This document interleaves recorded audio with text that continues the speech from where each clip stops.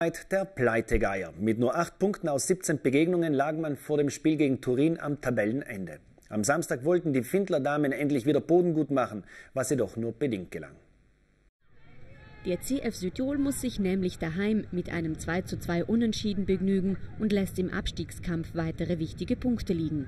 Am 18. Spieltag der Serie A hätten sich die Weiß-Roten drei Zähler verdient. Die Findler Damen schafften es aber nicht, eine zweimalige Führung über die Zeit zu bringen.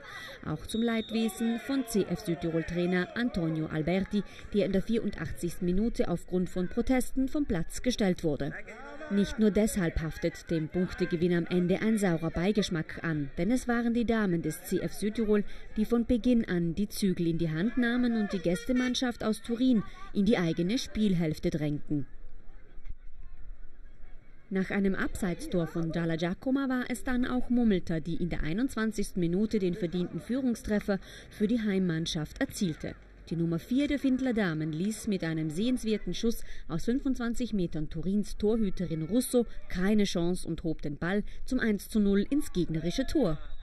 Die Gegenreaktion von Turin folgte auf dem Fuße. Schroffenecker konnte Bonanzias Schuss aus sicherer Distanz jedoch gerade noch abwehren. Es blieb beim 1 zu 0 Halbzeitstand. Keine zehn Minuten nach Wiederanpfiff hatte Schroffenegger aber das Nachsehen, als Rosucci mit einem sehenswerten Distanzschuss zum 1:1 Ausgleich traf.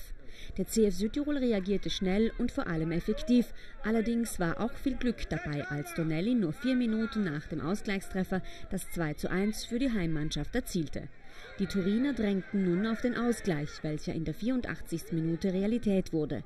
Nach einem Getümmel im Strafraum der Findler-Damen war es Cerato, der am schnellsten reagierte und unter lautstarken Protesten des CF Südtirol Trainerstabs den Ausgleichstreffer zum 2:2 Endstand fixierte. Natürlich äh, schade, dass wir in der 84. Minute dieses Tor kassiert haben, aber leider ist der Fußball und mit dem müssen wir akzeptieren.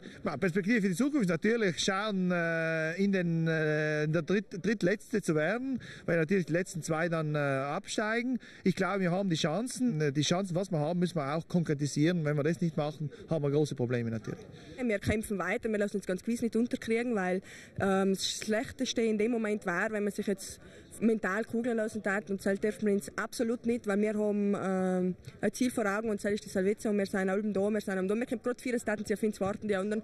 Und wir konzentrieren uns jetzt auf uns, wir sammeln einen Punkt nach dem anderen, wir wissen, wir haben jetzt zwei Spiele gegen Brescia und gegen Torres, wo es hart wird, aber danach, das letzte fünf Spiele, das ist unser Ziel. Selber müssen wir in Topform sein. Die fünf Spiele sind für uns entscheidend, ob wir haben, ähm, in Klassenerhalt schaffen oder nicht. Und auf das Ziel mehr hin. Die Findler Damen bleiben damit Tabellenletzte, verkürzen jedoch den Abstand auf die Mannschaft aus Firenze auf zwei Punkte. Am nächsten Samstag folgt das schwere Auswärtsspiel gegen den Tabellendritten aus Brescia. In der